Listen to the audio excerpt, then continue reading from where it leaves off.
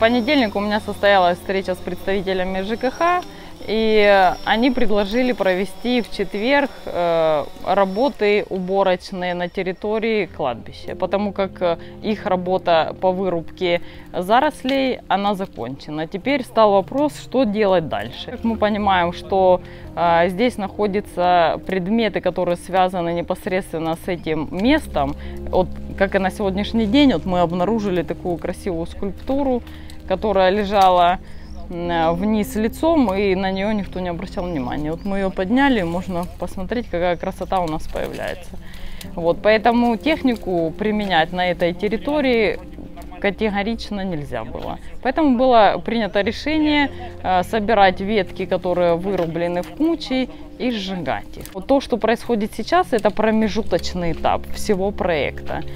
А дальше это мы будем за столом переговоров решать, как должно это место для горожан выглядеть. Э, наши планы первоначально это очистить это кладбище, потом установить места захоронений э, известных людей, которые были основателями нашего города, и установить места захоронений периода Первой, Вторых мировых войн. Потому что имеется информация, что на данном кладбище есть захоронения Второй мировой войны, как немецких солдат, так и советских солдат, периода Первой мировой войны и вызвольных змагань.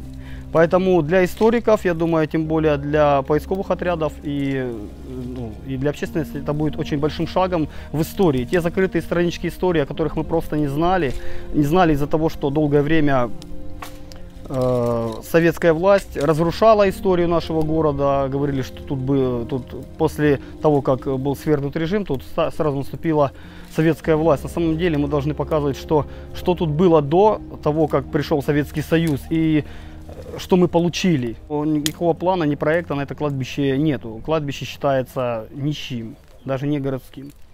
Поэтому после того, как э, земля будет э, принадлежать городу, мы сможем что-то здесь делать. Здесь лежат те люди, которые основали этот город Славянск. С его школами, с его больницами, с его заводами. Если мы забываем о прошлом, то мы не имеем будущего. К сожалению, получается так, что наше будущее зависит от нашего прошлого.